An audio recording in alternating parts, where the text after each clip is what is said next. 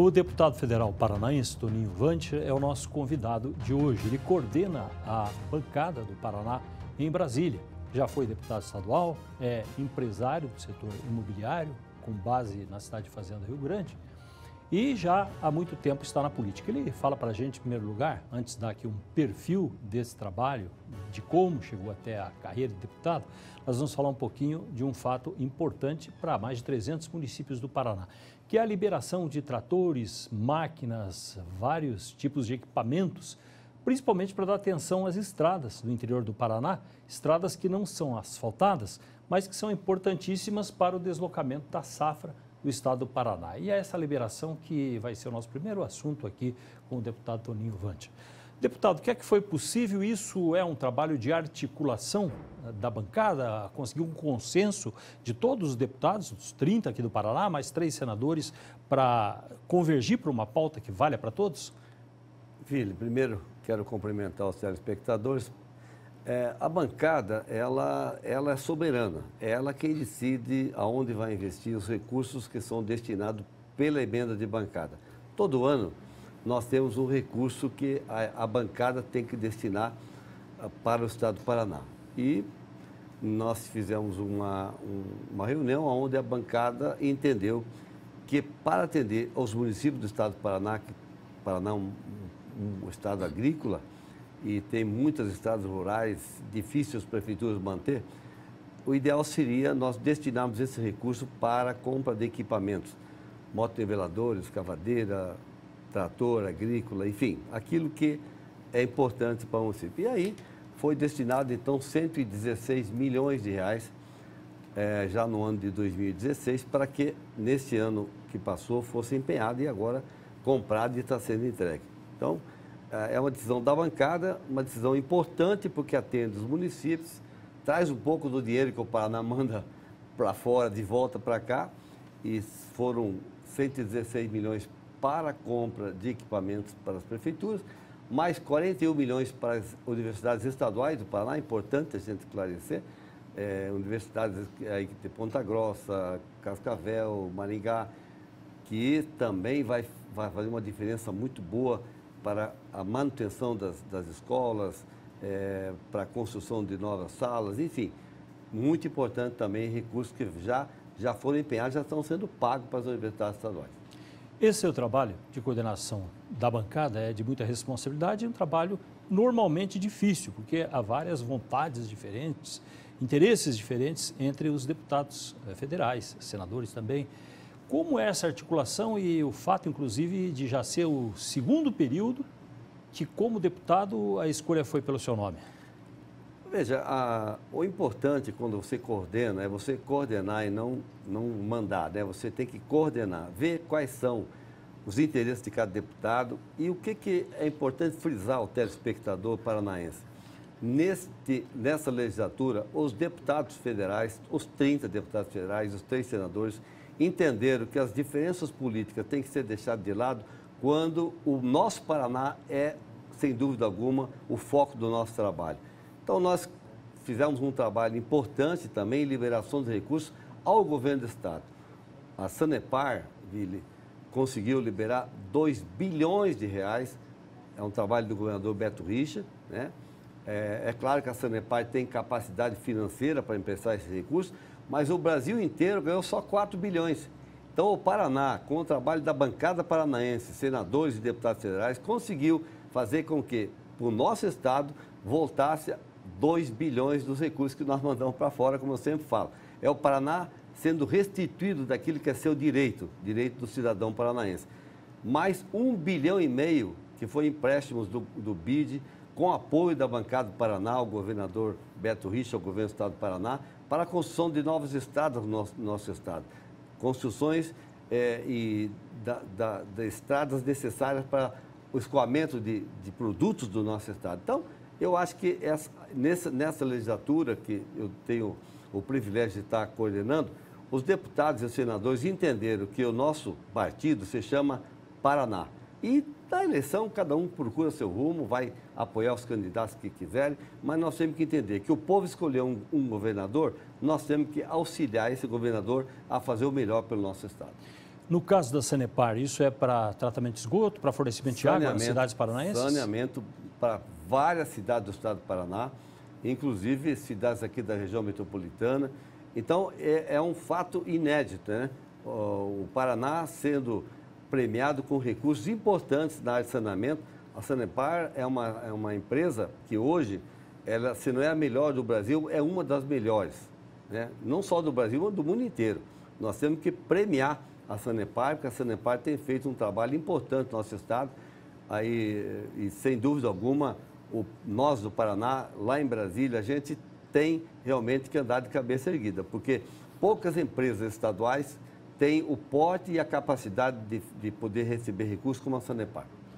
Há uma reclamação frequente no Paraná, isso também tem eco no empresariado, tenta a visão de que vai muito mais dinheiro para Brasília e de lá para o resto do Brasil do que o retorno que vem para o Paraná. Realmente, essa balança ela é desigual? O Paraná perde nesse dinheiro que envia e o que recebe em troca? É, se nós temos um país é, onde é formado por vários estados, estados mais pobres arrecadam menos. Mas as necessidades de infraestrutura do país passam por esses estados também. Então é claro que muitos recursos aqui do Paraná não voltam para cá. É essa a nossa tarefa, é fazer com que alguma coisa a mais do que aquilo que iria voltar, volte. Então, só a bancada, nessa legislatura, conseguiu mais de, de, de com o trabalho junto ao governo do Estado, nós trouxemos para o nosso Estado mais de 5 bilhões de reais que foram para lá, para o governo federal. Então, é isso aí. Realmente é uma, uma verdade, o Paraná manda muito mais recursos do que recebe, mas também nós temos que entender que nós temos um país e nós não somos uma ilha nesse país, nós somos um, uma, um Estado que faz parte da federação e nós temos realmente que entender que lá no norte do Brasil tem muito mais necessidade do que aqui. E às vezes os recursos, às vezes não, normalmente os recursos que são arrecadados aqui vão completar obras importantes para o nosso país lá também. O senhor é de linha evangélica e está na política.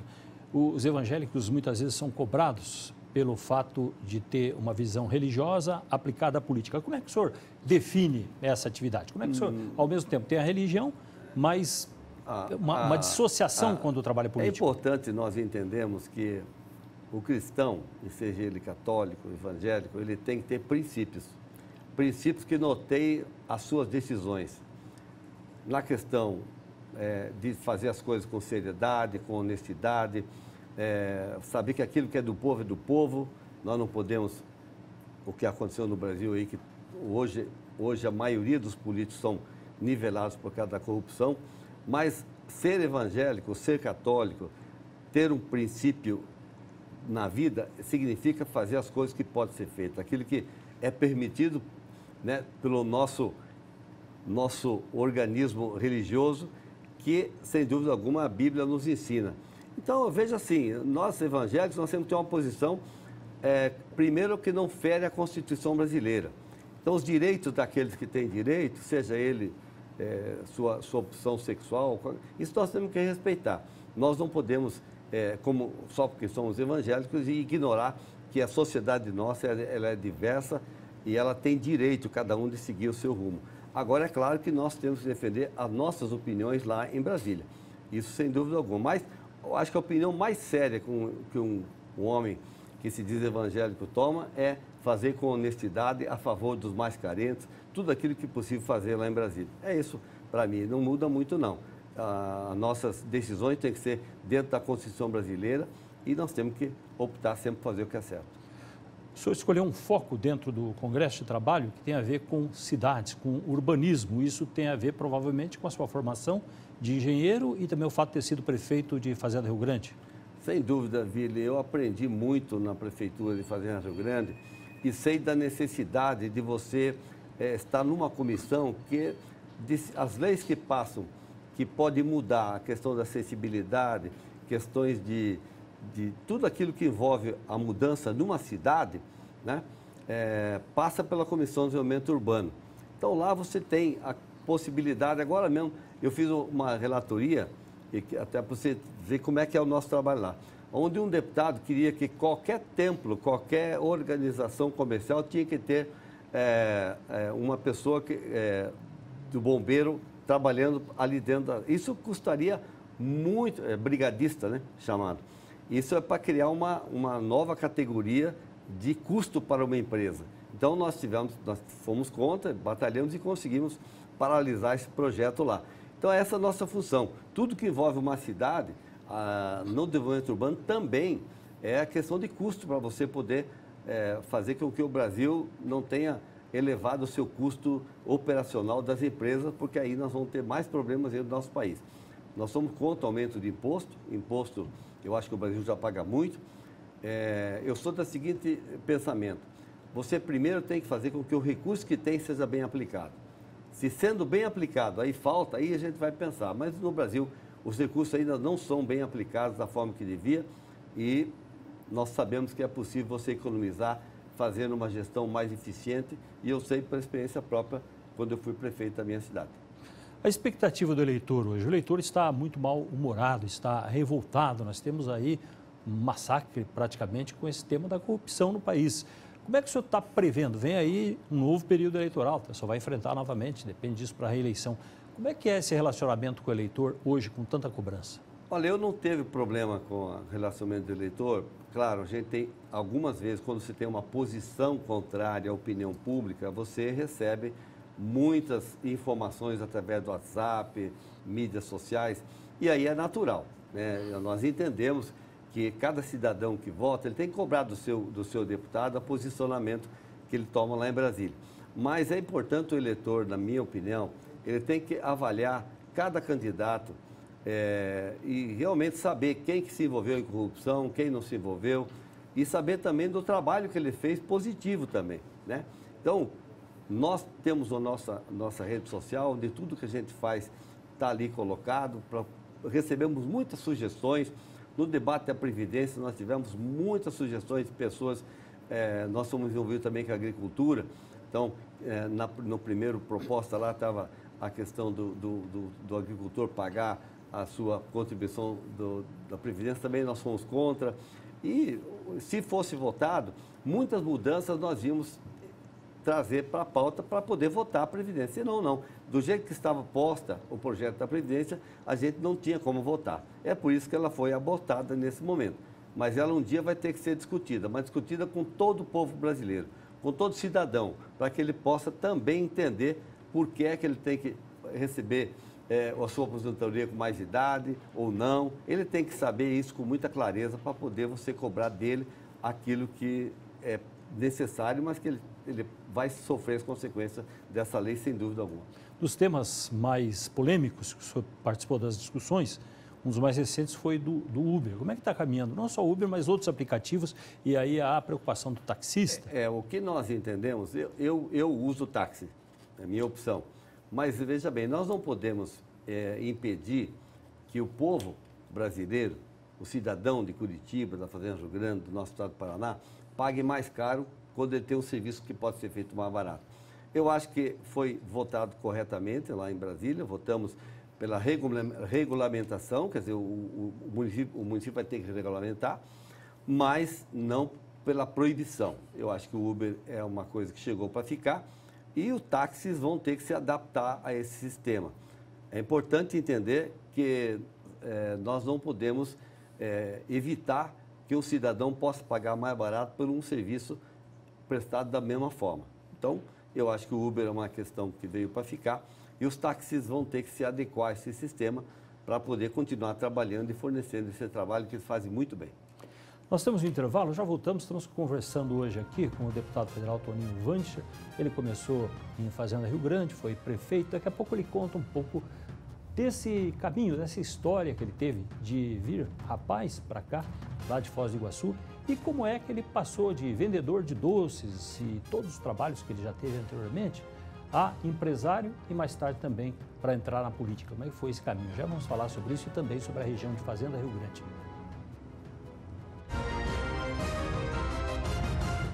Nosso convidado hoje é o coordenador da bancada paranaense em Brasília, deputado Toninho Vantia, representante da região de Fazenda Rio Grande, perto de Curitiba, e que já foi prefeito, inclusive, da cidade. E ele conta para gente um pouco da história dele, que é parecida com grande parte hoje das pessoas que escolheram Curitiba, que vieram do interior para cá. No seu caso, com 17 anos, seu pai tinha comércio em Foz do Iguaçu, Como é que foi essa mudança para Curitiba? Foi a, a, uma decisão sua, não da família? É, Vili, eu creio que todo jovem, que era jovem, né? Hoje eu tenho 67 para 68 anos, então faz 50 anos, né? 50, 50 anos atrás, eu tomei a decisão de vir estudar em Curitiba e fazer CPOR, né? E é, aí você tem que pegar e, e, pegar a malinha e vir embora, não tem o que fazer, né? E chegando em Curitiba em 67, eu fiz o CPOR e depois eu queria fazer o vestibular também. Eu tive uma, uma, um, uma frustração né, em 1970, quando eu, eu tinha feito 69 vestibular, em 70 fui fazer também, estava muito bem preparado e o resultado não foi aquele que eu queria, não passei no vestibular. Aí eu acabei desistindo de fazer, de, de fazer a faculdade e fui arrumar emprego. Na época consegui emprego no supermercado Real, né? Sei quem é antigo aqui em Curitiba conhece. Trabalhei no supermercado Real de 71 até 1977. É. E em 76 começou uma nova, uma nova etapa aqui em Curitiba, é, de uma nova, um novo curso de engenharia na, na Católica. O primeiro, primeiro, primeira turma da Católica de Engenharia. E como eu estudava só das 7 da manhã às 11, eu, minha esposa me incentivou a sair, sair então, e disputar é, a, a, mais uma vez o meu espaço ali para é, fazer o curso de engenharia. E é, acabei fazendo o vestibular e quando foi minha surpresa que seis anos depois, sem estudar, eu passei em primeiro lugar no curso de engenharia. Então são momentos da vida que a gente aprende, às vezes lá atrás não era o meu tempo.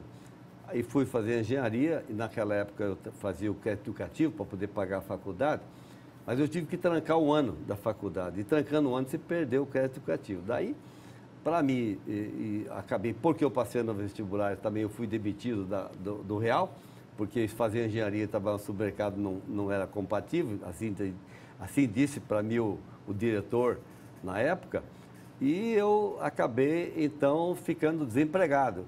Aí eu fui vender doce, né? Vender doce nas banquinhas da 15, não sei se ainda são os mesmos que trabalhavam lá, tinha o Dorival, tinha várias pessoas. E eu pegava doce do Zaide. E ia de banquinha em banquinha? Banquinha em banquinha, vendendo doce e o Zaide me fornecia e eu depois ia lá e pagava para ele. E isso aí foi um bom tempo, pagando a faculdade, com muita dificuldade. Aí começou a história da nossa querida Fazenda Rio Grande. Você que mora na Fazenda Rio Grande está assistindo, é, em 1978, 79, é, quando começou a migração para cá, começaram os loteamentos lá, e aí o meu irmão, já é, já é falecido, Adelino, falou, vamos vender terreno na Fazenda Rio Grande que você vai ver que dá dinheiro. Aí fomos. Num dia, Vili, eu vendi o que eu ganhava no mês inteiro vendendo doce. Falei, não, peraí, então vamos vender lote. Mudou de profissão. Que dá mais que vender doce. Aí a gente foi para fazer Rio Grande, onde nós estamos até hoje. Né? Conseguimos completar a nossa faculdade. Virou prefeito da cidade? Virei prefeito da cidade e devo muito a essa cidade fazer Rio Grande, porque ali onde a minha empresa se fortaleceu, hoje são 38 anos que a nossa empresa é, está no mercado imobiliário, construção civil, e é, depois... Uma empresa de imobiliária, imobiliária uma empresa sua daí. É, Começou como empresa. vendedor e criou sua própria Isso, empresa imobiliária. Exatamente. Então, hoje tem 38 anos. E agora, é, a gente, como, como foi um prefeito por dois mandatos, 2001 a 2008, depois fui candidato de deputado estadual, me elegi deputado estadual, até com uma boa votação, e agora, desafio federal, me elegi depois deputado federal também. Então, disputei quatro eleições, o povo me agraciou com os mandatos, e eu estou podendo fazer com que essa população, esses eleitores, eu tenho certeza que eles estão felizes com o meu trabalho, porque a gente trabalha bastante e eu procuro corresponder aos meus eleitores. Mas já tendo naquela época resolvido a questão financeira familiar, que era um, um emprego melhor, um trabalho melhor, no caso aí já como empresário, revendendo terreno, por que a política? A política, ela, ela para mim, ela é necessária. Eu, era, eu não gostava da política, mas o meu município estava passando por uma situação muito difícil. Quem conhece a história da Fazenda Rio sabe o início, arrecadação muito pequena, violência muito grande em Fazenda Rio Grande. Você vê, não tinha, nós tínhamos 16 quilômetros de asfalto da cidade, quando eu assumi a prefeitura. é, nós tínhamos é, falta de sala de aula, tinha, sala, tinha quatro turnos para as crianças estudar. Não tinha nenhuma unidade de saúde na cidade com 65 mil habitantes. 65 então, mil já na época? Já na época. Então era um caos tremendo. E nós assumimos esse desafio. E olha, vou falar para você, eu hoje sou orgulho de ter sido prefeito de Fazenda Rio Grande. Nós construímos na nossa cidade 11 unidades de saúde, construímos 700 salas de aula, eu guardo isso na memória, não vou esquecer. É, construímos 200 quilômetros de pavimentação asfáltica, levamos empresas importantes para a Fazenda Rio Grande, levamos, inclusive, o Matelhão, né, que hoje está na Fazenda Rio Grande. Então, um trabalho que mostrou para mim que quando você faz a política séria, correta, né, você consegue trazer um benefício maior para a sociedade que você vive. E aí a questão do deputado estadual e federal foi consequência desse, dessa grande é, conquista que a Fazenda Grande teve quando nós fomos lá como prefeito. Hoje a Fazenda Grande é uma cidade já bem próspera, não é mais uma cidade dormitório, já tem emprego, já tem muita gente indo morar para lá porque lá é bom de morar. Eu moro na Fazenda Rio Grande, é, gosto de morar na Fazenda Rio Grande, tenho prazer de morar lá e ser cidadão fazendense. E uma barreira para a cidade, apesar de próxima de Curitiba, era a dificuldade com pista simples, ah, através da BR, para chegar até lá. Sem Isso dúvida. foi um Esse foi uma demorado. tarefa das mais difíceis, né? Conseguir viabilizar e só viabilizou quando foi feita a, a, privatização, né? a terceirização da manutenção da estrada com o pedágio. Mas hoje, sem dúvida alguma, a cidade de São Grande tá, é, compete com outras cidades. É claro, você tem uma Araucária com uma arrecadação de um bilhão de real, né? É, São José é a mesma coisa, Curitiba nem se fala. Então é muito importante nós termos entender que há necessidade de você construir também uma forma de arrecadar mais na cidade para que o povo tenha um benefício maior pelo serviço público. Fazenda Grande hoje está bem, o prefeito Márcio Wozniak está lá, né, trabalhando bastante pela Fazenda. Né. Hoje, eu sempre tenho dito uma coisa, Vila, o problema dos municípios brasileiros do nosso país são os prefeitos. Mas a solução também são os prefeitos. Então, quando o povo elege uma solução, o município cresce. Quando o povo elege um problema, o município padece. Né? Mas hoje eu estou vendo que nós temos uma, um, bons prefeitos na nossa região metropolitana, Araucária, com, diminuindo o custo do transporte. Né? É, isso, para muita gente, achava que era impossível né, fazer isso. E hoje o, o ônibus baixou para R$ 2,90 em Araucária. Então o prefeito de Santos está de parabéns. Sempre que você traz um benefício para a população, nós temos que, que é, aplaudir. Né? Então, sem dúvida alguma, hoje Araucária tem uma solução para a sua prefeitura. E nós, como deputado federal, temos procurado fazer com que as prefeituras recebam é, do governo federal também aquilo que é de direito de cada é, município paranaense pelo território existente, a proximidade de Curitiba e também a posição estratégica perto das rodovias mais importantes, a sua cidade é uma das que tem uma promessa maior de crescimento. Como é que o senhor vê? Como é que vai ser o é, futuro? É, ela não é muito grande, mas ela tem espaço ainda para a indústria se instalarem. Né? Cada dia uma indústria nova está chegando, porque a infraestrutura, quando chega, Vila, ela traz a oportunidade da indústria também chegar. É, lá tem mão de obra, né? Fazenda Grande tem uma mão de obra bastante e tem espaço para a indústria instalar e tem acesso para essas indústrias retirar o seu produto e trazer a matéria-prima. Então, Fazenda Rio Grande está num local muito importante, bem localizada e eu convido a você, é, empresário que queira é, se instalar na Fazenda Rio Grande, chegar lá no nosso município. O município para essa atração? Ele já tem as condições necessárias ou entra subsídio? Como é que trabalha tem, Fazenda Rio Grande historicamente para trazer empresas? Tem, ela tem subsídio, sim, tem oportunidades de, de, de, de postergação de impostos, de aquilo que a lei permite que se faça, né? Inclusive doação de terreno de forma legal, porque a, a doação de um terreno para uma indústria simplesmente ela, ela não é legal. Mas quando você faz uma um processo de, de legalizar essa doação, de que forma? Você faz uma concorrência pública para as empresas que tenham a, a, condição de se instalar e gerar emprego e renda que o município precisa, aí você abre para todas as empresas e elas podem chegar lá. E os empresários estão convidados a chegar na Fazenda do Grande.